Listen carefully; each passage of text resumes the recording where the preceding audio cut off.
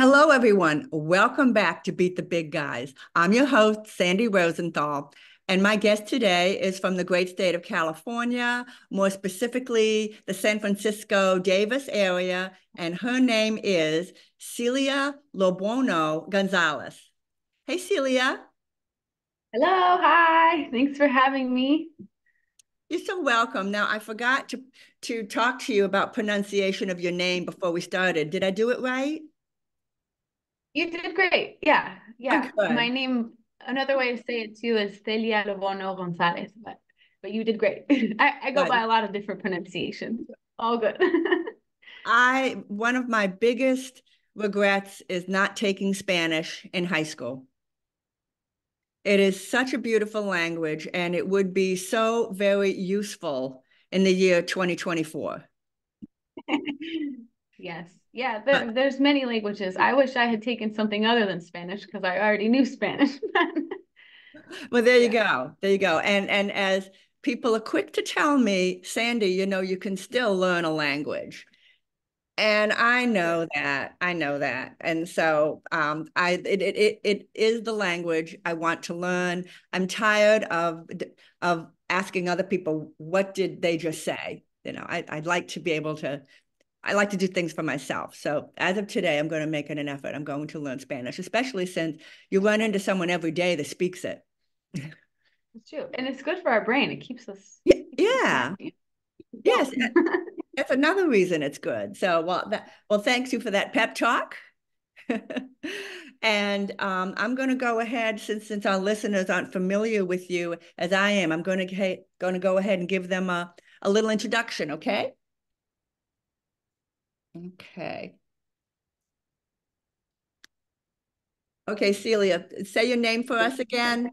Celia LoBuono Gonzalez. Oh, she sounds so. That's another reason right there to learn Spanish, you know, to get the accent right. So it's uh, Celia, or as we we um, uh, uh um people that don't know the language say Celia, is. Thank you. It's a beautiful name both ways. Celia is a worker owner of Other Avenues Grocery Cooperative in the Outer Sunset Boulevard, uh, excuse me, the Outer Sunset neighborhood of San Francisco.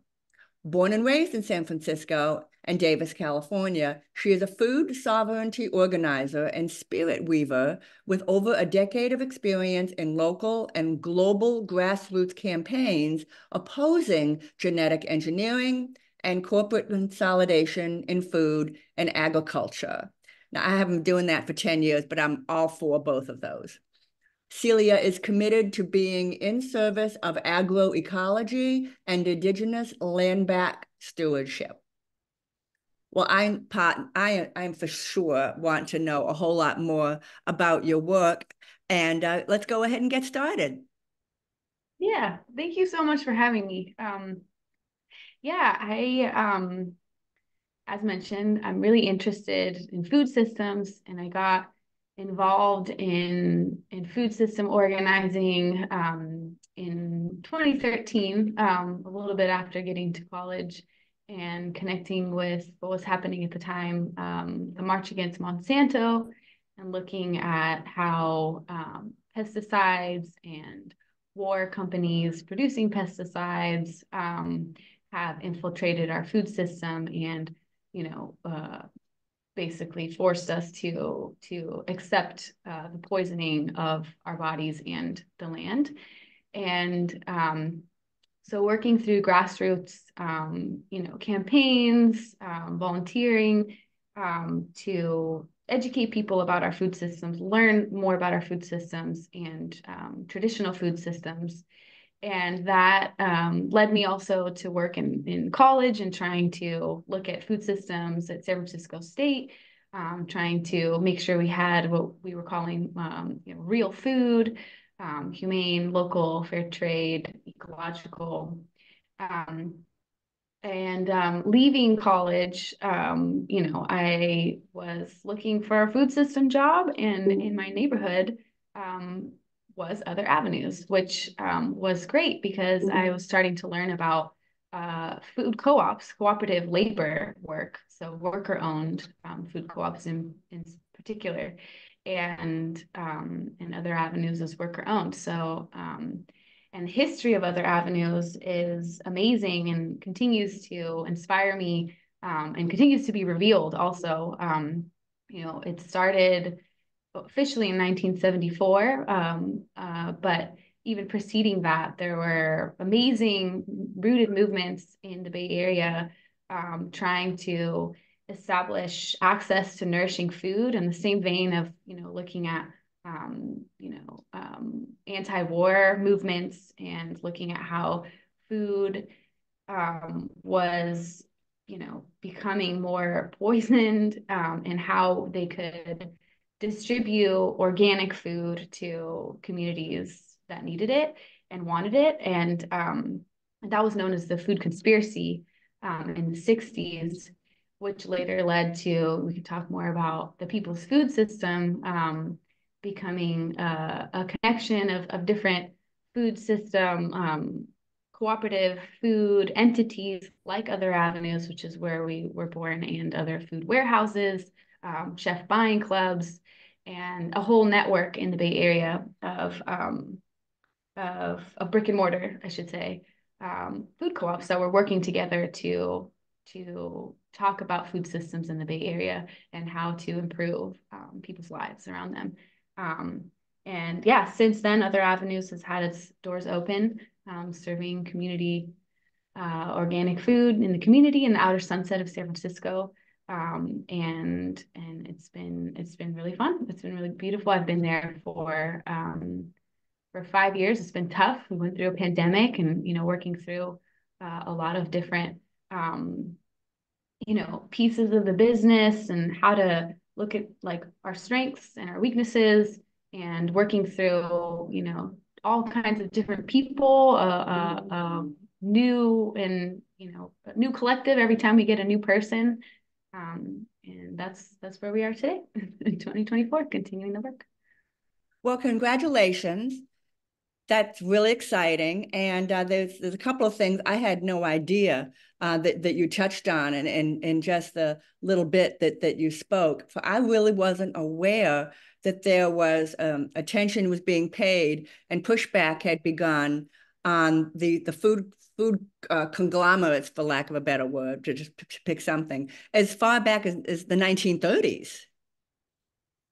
Oh yes, absolutely. Yeah, 20s and 30s. Mm-hmm and and worker and um, you know food systems as well as uh, cooperatives, worker cooperatives um, in San Francisco have a lot of history as well. You know, with um, seamstresses and like work shoe boot um, uh, worker collectives forming. Sometimes you know from union strikes that failed and being like, whatever, we're gonna just start our own company so there's actually a lot of history here in San Francisco um, of cooperative labor. I, I really had no idea. And I, I think that's great um, because, and yeah, in my mind, it was really a, of a more recent thing that the pushback and saying, just saying no. And speaking of the pushback, it's so often the big business, big companies, no matter what they are, who they are, they they believe that they're just going to force people to accept their way, my way or the highway, and they're shocked when somebody says no. They're usually shocked and they usually don't know how to handle it.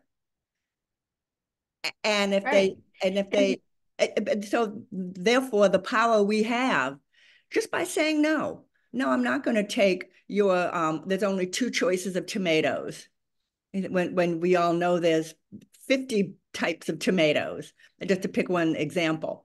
Uh, but it's up to the customer to just say no. Um, and I, this is your your presentation, not mine, but a great example is fish. Okay, we go to the fish market here in America, and we we get not that many varieties of fish, and they're often not that fresh. Japan, what a difference! First of all, there's so many different kinds of fish, and they're fresh, fresh, fresh, fresh. That you don't see a day old fish because no one in Japan will buy it. My mm-hmm. point is, you all you have to do is say no. Nope, not not going to buy your your um unfresh fish. So anyway, I didn't mean to change the subject at all. No, talking absolutely. about I mean, you have. Mm. My family's Spanish, and my mom has complained my entire life about how there is very poor fish um, selection here. So I know that story very well. Um, but you know, I'll say it's not just about saying no. It's also about asking for more because I think um, sometimes in you know in, in grocery stores people are trying to um, you know find what the customer wants want to stay financially sound make sure you're selling things people want. But um but so that's why it's important as a customer as well to to push um you know the buyers and stores and ask for a diversity of products. People will be more open to bringing things in. And at other avenues we have um like these customer request forms that we get really excited about when people ask us like to bring in a particular product, um, which really also helps inform us as uh, as buyers and what and what people want to see. And we try out a bunch of new things that maybe on our own we might not have you know come across, um, and that also adds to you know the diversity of the food the foodscape. Um, so it's, yeah, it's important opposite. on that of the usual model these companies use is they create a product product that they decide we need and then convince us that we need it. So this is turning that on its head, allowing exactly. to decide what they need and and looking at, at it from there. But but yeah, it, it, you're right. It is more than just saying no. It's uh, you know offering other alternatives and uh, and then you know one wonderful things can happen and are happening the but but again the the these these big guys whoever they are are usually shocked when someone actually stands up and says no i'm not going to accept things the way they are i'm not going to accept the things the way you're presenting them to me and sometimes actually they usually have you know a, a kind of sort of a plan already written and ready to go but they're often really wrong about it. And and and the, yeah. one of the favorite thing about the big guys is they make huge mistakes. But anyway, what were you going to say? Oh, it just made me think of, um, you know, when I was organizing um, the March Against Monsanto, you know, there was also a lot of um, one of the centerpieces, right, was rejecting genetically engineered um, food in agriculture mm-hmm. and um, and so what kind of got big right was aside from um, you know demanding organics i think people started to learn a little bit more about gmos and i, I do think that i saw a big um, trans transition towards a lot more brands particularly in the natural food sector but even beyond that um, you know, going and getting the the certification to be non-GMO.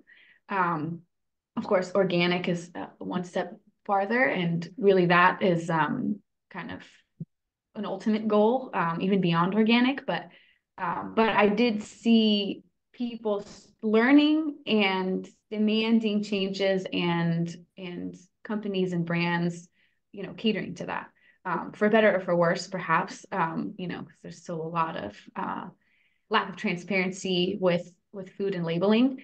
Um. But it, it, you know, things things can change. yeah, yeah. It's the, the citizen at large. It's just uh, remarkable. Uh, what about the power of the, the citizen at large or the buyer, just to say, well, I'm not going to buy your brand. I'm going to switch brands. Um, do, do you think that's a, a good tool, a valuable tool? to say, I'm not going to purchase from you. Yeah. And I think it's important to also be vocal about why. Um, okay. So that people understand why you're making your choice and you can influence other people to do the same.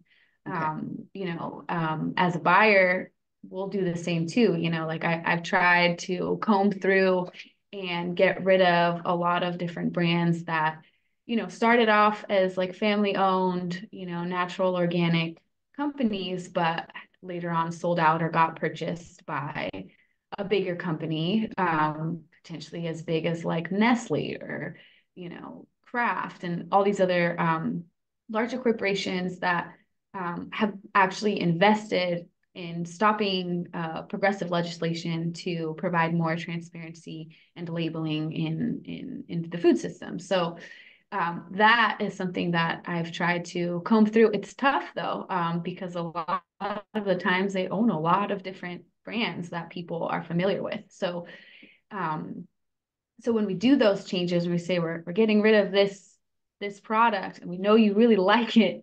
Um, we do our best to find an alternative and also educate people about like, hey, did you know this brand was purchased by you know by Nestle? We're not we're not interested. Um, and and usually people respond really well, and they're like, "Wow, thank you. I didn't know. I hate Nestle." um, yeah, they'll say, "Thank you for telling me." Um, mm-hmm. Thank you for bringing that to my attention because we can't be experts at everything. Right. The yeah, uh, so it, there's a term that I was just recently been brought to my attention, uh, and I'm sure you're familiar with it, uh, where companies earn a status uh, in terms of the, the way they do business and in, in terms of their footprint um, and their carbon footprint and, and, and helping. And there's an actual term. I know Patagonia is one of those companies. Are you familiar with what I'm talking about? You're talking about like the B Corps? Or... Yes, yes. B Corp. B Corp. Oh, yeah. Can you talk about that? Uh, and and because I had yeah. never heard the term, and I'm I, I didn't think I was a an idiot, but that I felt like I was when I heard the term for the first time. So maybe you can talk a little bit to our listeners about B Corps and, and the, the value. I mean, B Corp stands for Benefit Corporation, right? So, and I don't know too much about the details of it all, but from what I understand, you know, they're structured in a way where um, it's not just the classic capitalist extractive shareholder profit. Like we exist um, with a mission to make profit for our shareholders, period. Um, and anything that doesn't do that, you know, you know, is not us. But so B Corp establishes a little bit more of like a social purpose in what the goals of the organization are and in connection with its bottom line. So uh, I don't know exactly. I, I want. I, I'm curious to learn more if there's different ways of structuring that and how you know profits are um, distributed.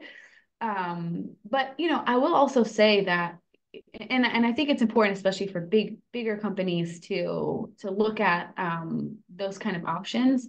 It's also it. There's also you know even other older structures that exist like cooperatives that are inherently already structured um, you know, with the distribution of wealth in mind.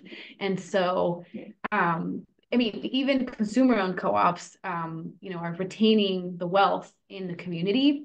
Worker-owned or worker-owned co-ops even more so because um, the wealth is not being extracted to, you know, these shareholders, which could be in another country or in, you know, just hoarding all the wealth already of all the corporate interests that they they have um, but rather the profits are being um, you know distributed to the workers themselves, which um, has another uh, exponential impact um, because that uh, though that that wealth, I should say, then is spent by the worker in the community that they live in, right? So the the wealth generation stays local rather than being extracted, um, and so that has kind of another net benefit, right, for how um, communities and local ecosystems can share and maintain maintain themselves.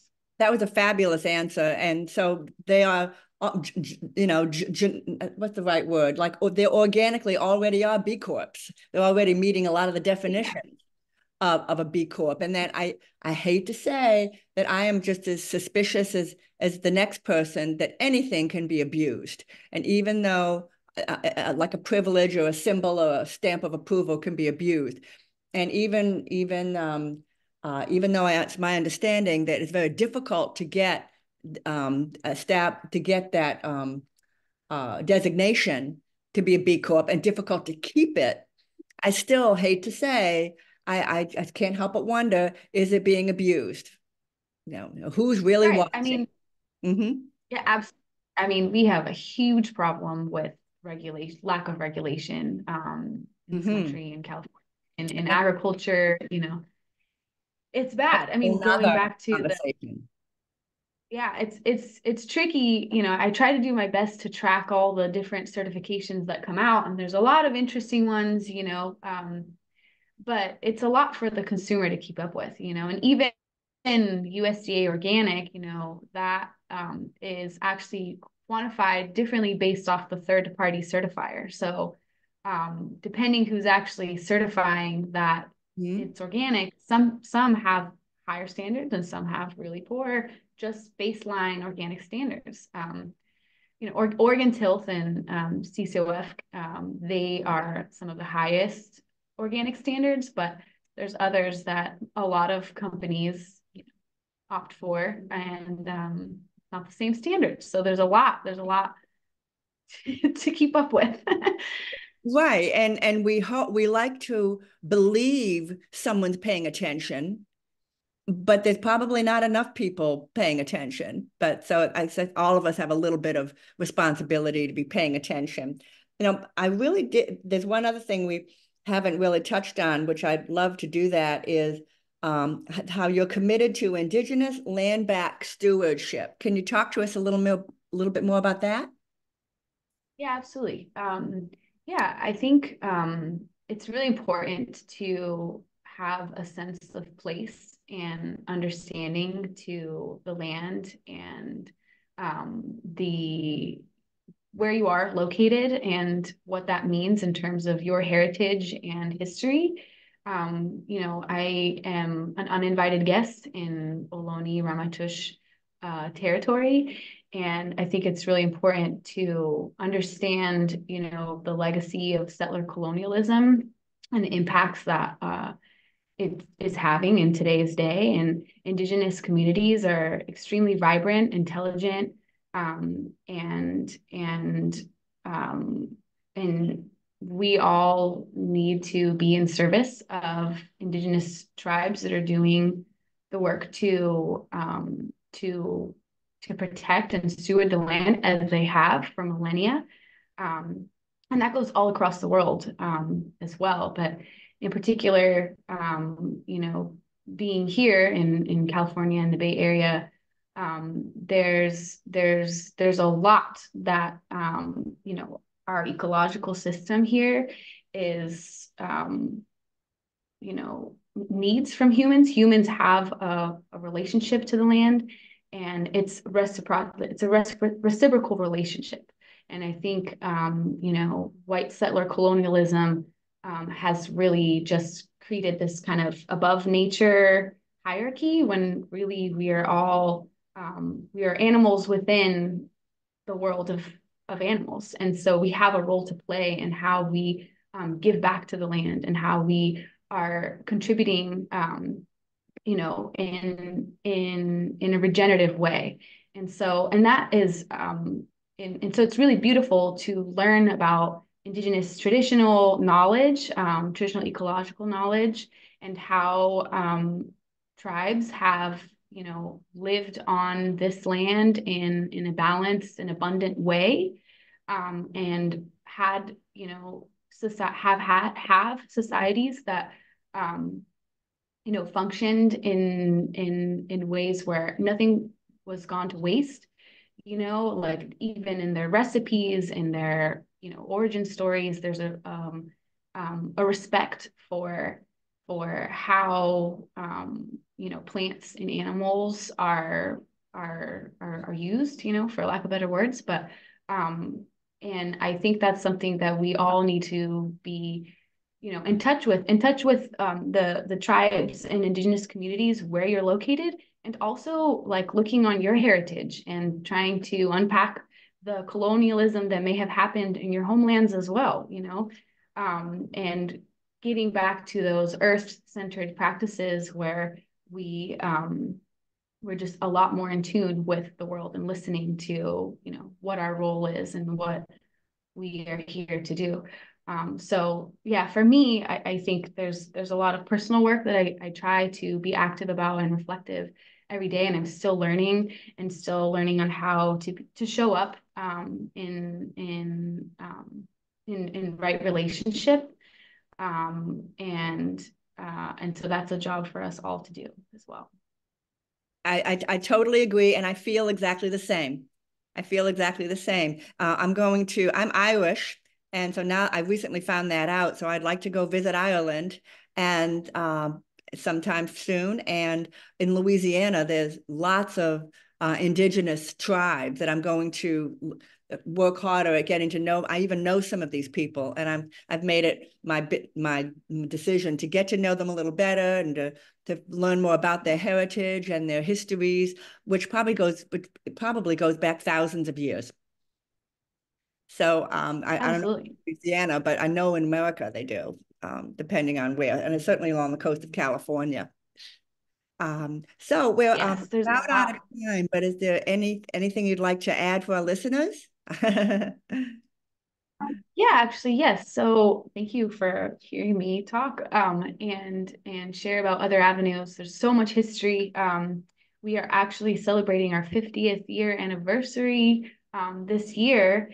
And so um, if you stay tuned in October, we'll, we'll probably be having, we're planning for um, a little community block festival on the Great Highway um, near Ocean Beach. So we invite everyone to come, um, to come check us out. And if you want to learn more a little bit about other avenues, there's a great book um, called Other Avenues Are Possible by Shanta um, Nimbark Sacharoff, who used to work at Other Avenues, still is around, just like our Other Avenues grandma. And um, in, in, in the most you know, respectful of ways, she um, has contributed a lot to the cooperative movement in San Francisco food systems here. And so that's a great resource as well. Um, and actually, the book that I was kind of referring to, some facts earlier, that I don't know if it's where to find it. Maybe I can make it available somehow, but it's called The History of Collectivity in the San Francisco Bay Area um, by John Curl. Well, there's several authors, but John Curl is the editor.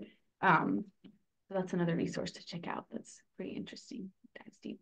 Okay. Now there's one last thing I'd like you to do for us. Pretend you're your mother speaking in, in the, the language she spoke in, and I want to hear you complain about the fish.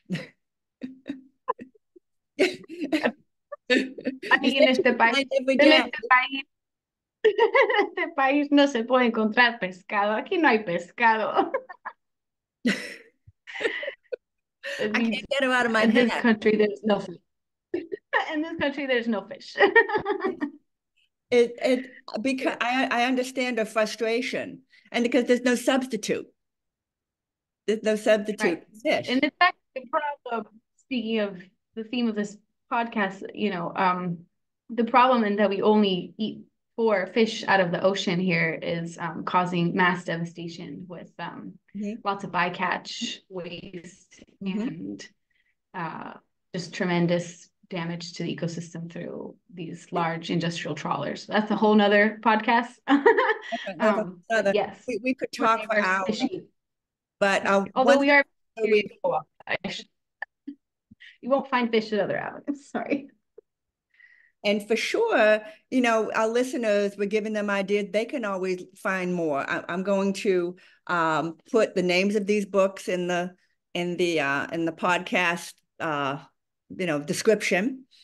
And if our listeners want to find out more, they can. Oh, speaking of which, uh, if, if if suppose someone would like to get in touch with you, how would they do? How would they do that? Oh, yeah, um, yeah, I mean, I'd happily uh, provide my email. Um, you could also call other avenues, call the store and ask for me, but um, Celia at otheravenues.coop, C E L I A. Wonderful. Well, thank you so much, Celia, for joining me today. Thank you so much, Sandy. And thank you to our listeners for joining us today. We hope you like this episode. Be sure to like, subscribe, and rate the podcast on all of your favorite platforms. And remember, no matter who you are, you too can beat the big guys. Okay, Celia, stay with me. I'm going to stop recording.